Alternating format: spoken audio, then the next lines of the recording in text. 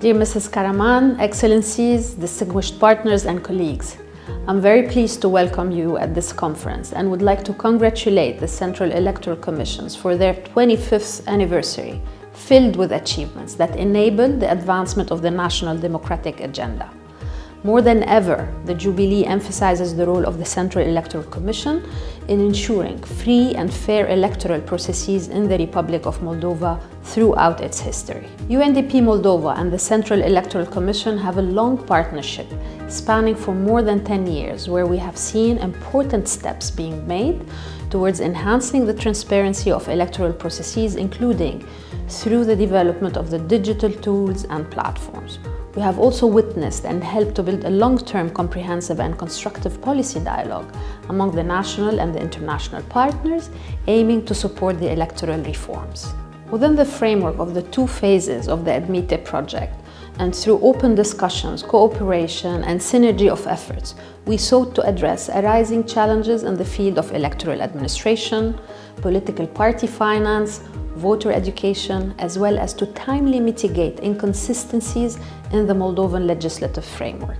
And that's because we're convinced that an improved electoral process will lead to the integrity of elections in Moldova that ultimately serves as a key element for the legitimacy of any democracy.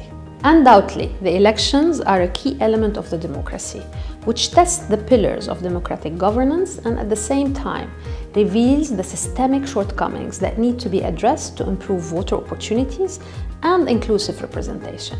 UNDP Moldova, through this project, the ADMITE project, and thanks to the partnerships of USAID and the UK, managed to mobilize the needed international expertise as well as the sharing of best practices and lessons learned from other countries in inclusive and transparent electoral processes.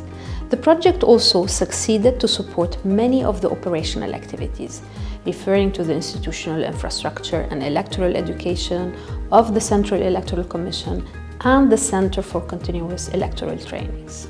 The targeted civic education campaigns, sustainable partnerships with civil society organizations, the direct engagement of the young voters and first-time voters are a well-designed complementation of the technical support for inclusive elections. Among the most compelling IT-related elements of the project's portfolio are the re-engineered address and the Civil Status Acts registers, the enhanced state automated information system elections, and the new module for online reporting of political party finance.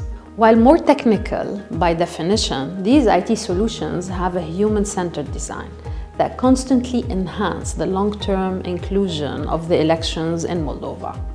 Voting results are now presented faster.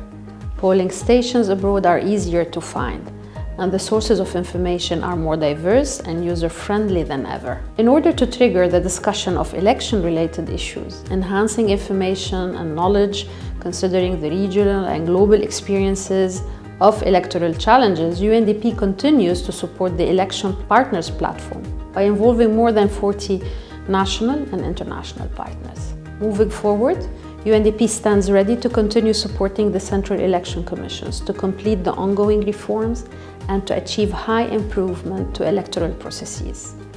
Last but not least, I would like to thank our strategic partners, the USAID, the UK Embassy for their ongoing and future support in advancing electoral reform and enhancing the Moldovan citizens' engagement, which shall lead inevitably to an improved democratic process in Moldova. Thank you very much, and I'm looking forward to the conference discussions.